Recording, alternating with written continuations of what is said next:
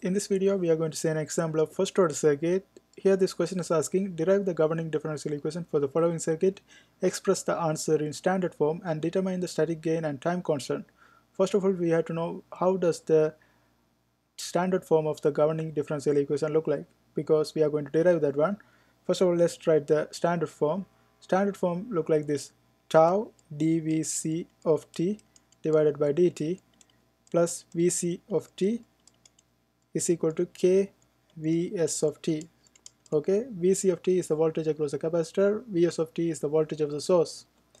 Now we have to derive this kind of pattern using like Kirchhoff's current law or Kirchhoff's voltage law. Here I am going to use Kirchhoff's current law. Kirchhoff's current law says whatever the current entering the node should be equal to the current exiting the node. And if I take this node and this is going to be vc of t and the current entering this node should be equal to current exiting this node and I'm going to set this one to the ground. And here we can we are going to apply Kirchhoff's current law and current entering this node is going to be let's assume current is going in this direction. So current through the voltage source is going to be Vs of t minus this node that is Vc of t divided by the vol uh, divided by the resistance in between. This is Ra and this is Rb the resistance in between Vs of t and Vc of t is Ra so we have to divide this one by Ra so this is current entering. This one must be equal to current through this capacitor and current through this resistor. Current through this capacitor we can write this one as C dVc of t over dt and current through this resistor can be written as Vc of t divided by Ra okay? And uh, this is our Kirchhoff's current law equation and now what we are going to do is we are going to bring this one into this pattern.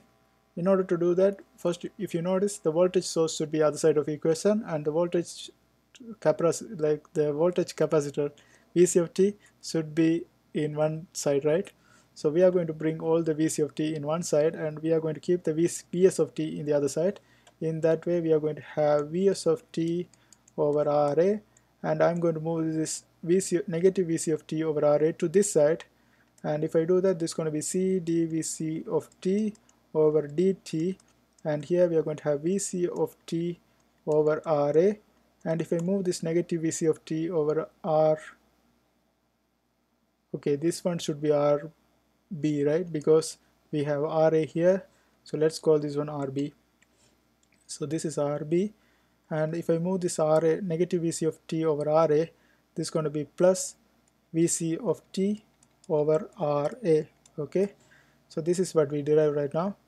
Now let's try to combine these two together because here we have Vc of t Vc of t. We can combine these two together.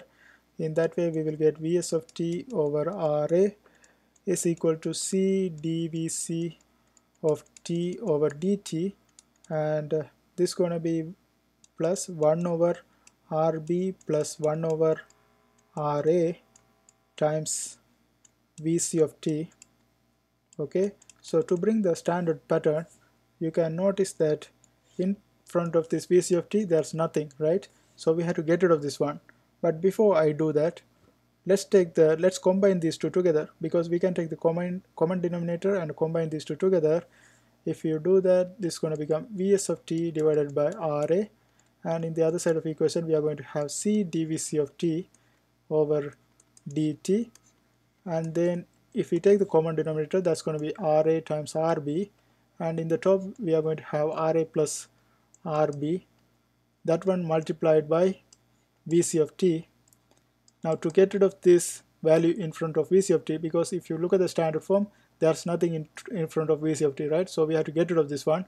To get rid of this one we can divide everything by divide everything by Ra plus Rb over Ra this is RB RA RB and if you do that this is gonna become so this will flip around right? When you divide this will flip around flip around and go to the top. And from this one you can see this RA and this RA cancels. You will get RB Vs of t over RA plus RB and here you are going to have the opposite reciprocal of this one. That's going to be RA RB over RA plus RB and here this will cancel all together so you are going to just get Vc of t but I have to copy this one too. This is going to be C dvc of t over dt and here we are going to have just vc of t. Okay so this is the standard governing differential equation. Now the next thing is they are asking to find out the static gain and also the time constant. Time constant is the value in front of dvc dvc of t over dt okay oh here I made a mistake I think. C dvc of t over dt oh yeah th this is correct this is correct. So here in the standard here we are going to have static we are going to find out the static gain and the time constant. Time constant is the value in front of dvc of t over dt in front of dvc of t over dt we have RARBC over ra plus rb right? So this is going to be the time constant.